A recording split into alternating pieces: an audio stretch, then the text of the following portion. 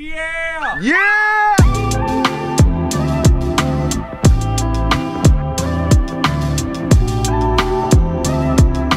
What's up, everybody? Camp season's my favorite time of year. It's Christmas to me. For the next two weeks, this camp will be filled with hundreds of teenagers as they have a ton of fun playing team competitions, swimming, playing on the beach, and pursuing God with all their hearts. I'm so honored to be the camp video guy for the next two weeks, and I can't wait to see what God's gonna do. So, if you guys could just pray over these next two weeks, pray that God has his way in the lives of these students and the leaders that are gonna be here, that would be awesome. Every single day, I'm going to be making a daily highlight video for the teenagers and we'll be posting them online as well. If you want to see those, be sure to follow me or follow Illinois Student Ministries on all your social media and you'll be able to see them there.